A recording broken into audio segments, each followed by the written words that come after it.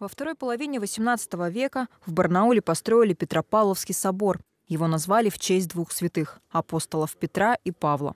В 1935 году православный храм разрушили. Сразу после этого все вещи, которые представляли ценность, пропали. Советская власть в начале 20-х годов э, забирала церковные ценности под предлогом борьбы э, с голодом, да, то есть в помощь голодающим. А те иконы и утварь, которые не представляла собой особенной ценности, ну, как правило, верующие могли бы либо забирать, либо это как-то уничтожалось. В данном случае, скорее всего, кто-то из верующих успел вынести эти э, иконы.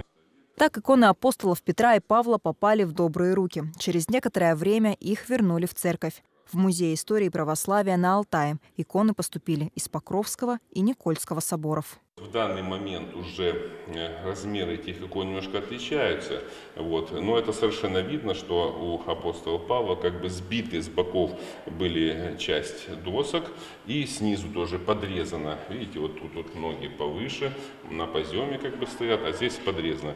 Это говорит о том, что эта икона все-таки сначала была дома у кого-то, и кто-то пытался вписать это в домашний иконостас, ну, учитывая малость размеров, а потом все-таки была передана эта икона в храм.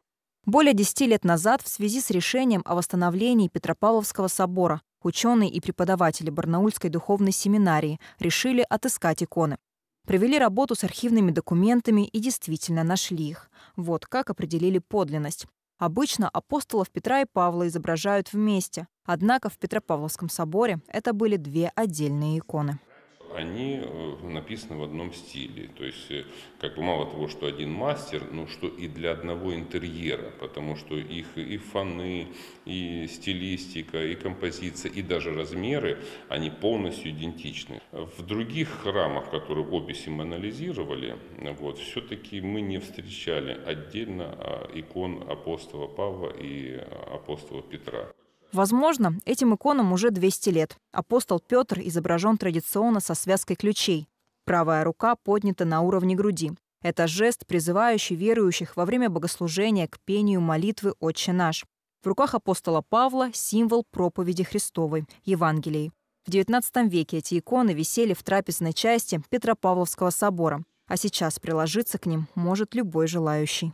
Чем старше икона, тем она более намоленная, то есть большее количество людей молилось перед ними. И именно такие иконы э, в большей степени, может быть, претендуют на роль чудотворных. В Петропавловском соборе Барнаула было около ста икон. Из них несколько образов с изображением апостолов Петра и Павла. Часть из них в окладах из драгоценных металлов, то есть тоже представляли интерес для властей того времени. Они также бесследно исчезли. Ученые и исследователи продолжают их поиски, чтобы вернуть туда, где они и должны быть, обратно в собор. Полина Бурнашова, Алексей Михайлов. Новости.